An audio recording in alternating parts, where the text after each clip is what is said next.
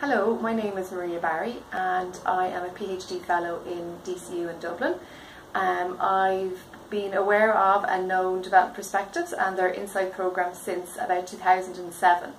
Um, and it was a time when um, overseas visits were um, in the spotlight and there was a lot of questions about them.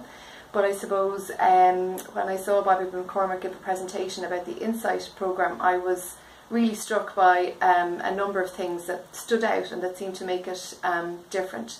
So one of the first things was um, the kind of the, the importance and the focus that was given to the process um, around the programme. So um, its focus on experiential learning, um, its focus on the importance of preparation, so the before and then the kind of aftermath, you know, the after the overseas visit, so what happens and how do um, participants continue to stay involved and engaged.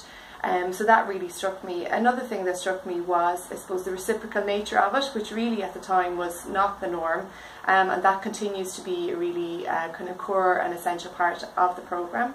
And then I suppose that its kind of core participants came from the adult sector, so um, which are maybe a, a, more difficult group to try and engage with, they're more disparate.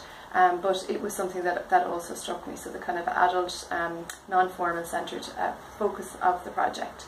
Um, and since then I have known many people who have um, participated in the Insight project, I've worked with people who participated in the Insight project and one of the things that strikes me about them is how they really own um, the experience and they be they are very active, very engaged kind of socially and politically um, and they have been really involved and kind of strong members of the development education uh, sector here in Ireland. Um, yeah, so I suppose the, the programme has grown, um, it continues to kind of extend its impact, um, looking to kind of always look at how to do things differently. But I mean, I think overall what strikes me about the programme is um, the substance and the depth that it has, whilst also having kind of creativity, fun and great energy.